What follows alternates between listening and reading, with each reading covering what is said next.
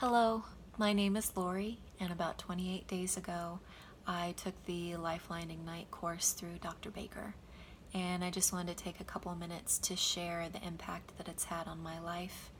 Um, I, I can get weepy just thinking about the fact that um, I've lived a very triggered life um, with my emotions dictating um, how I lived my life and um, living in a very reactive state of mind and not knowing how to get out of it.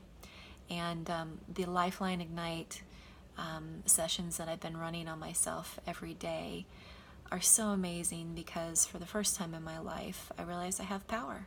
I have the power to change the way that I think.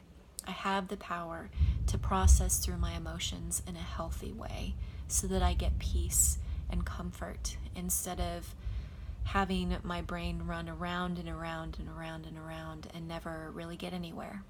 And um, it's been amazing too because I realize that most parents really don't set out knowing how to help children um, process their emotions in a healthy way. And that's what this tool does.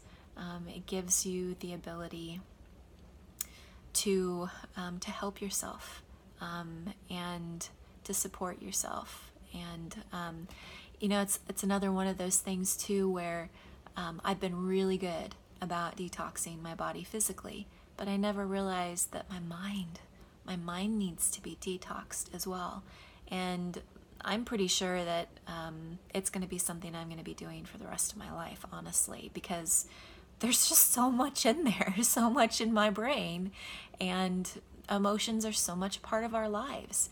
Um, but we don't have to be ruled by our emotions. They serve a purpose of drawing our attention to places that need healing, um, but they don't have to rule us. They can be partners for us, uh, partners in health. So um, I hope this is a blessing for you, and I send infinite love and gratitude to you.